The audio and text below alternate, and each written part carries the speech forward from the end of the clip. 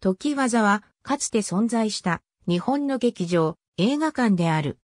東京、浅草公園ロック発の劇場で、当時流行の道家踊りの興行のために、根岸浜吉の根岸工業部が常磐座として開業した。浅草オペラ発祥の劇場でもある。後に、時技、時技と解消した。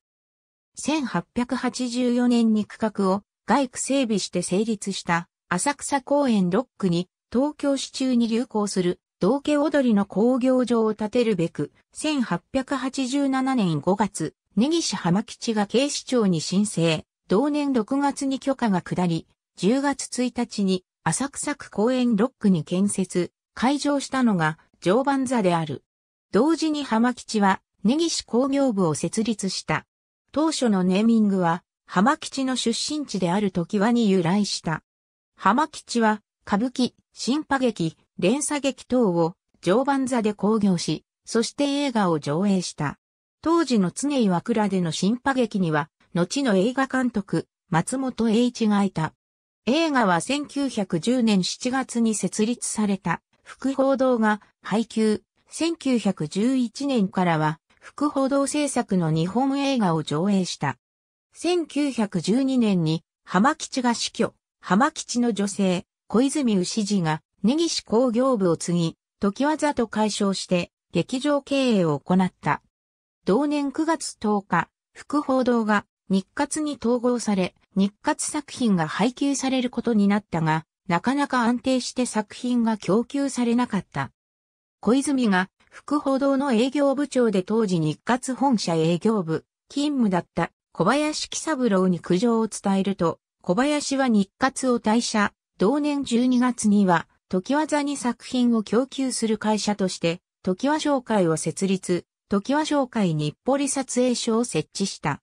同社が量産するサイレント映画を時技は上映したが、日活が差し止めて、翌1913年早々には日活作品に切り替わった。1916年5月1日、時技は1911年10月1日開業の金龍館、1913年開業の洋画の風切り館、東京クラブの2館とともに、三館共通入場券を導入した。いずれも、根岸工業部の経営する劇場である。同年5月、帝国劇場用劇部が解散し、同年9月に高木徳子が伊庭隆と結成した歌舞劇協会の浅草での公演を引き受けたのが、この時技で1917年1月22日、オペラ、女軍出世を上演、大ヒットする。これが浅草オペラの始まりとされる。その後は、主に金龍館が浅草オペラの舞台になり、根岸工業部は1920年9月3日、金龍館に根岸大歌劇団を設立する。1923年9月1日の関東大震災で、時技、及び根岸工業部は大打撃を受け、根岸工業部は一切を失い、松竹参加に入った。1924年3月には、根岸大歌劇団は解散、松竹の経営下で、時技は金龍館、東京クラブと共に復興した。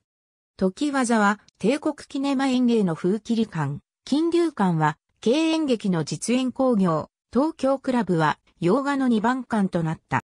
1937年1月右手前が、時技、笑いの王国の上りが見える1933年4月1日、古川六波、徳川無生らが、時技で、経演劇の劇団、笑いの王国の旗揚げ公演を行った。以来、1943年6月の同劇団解散まで、時技を根城にした。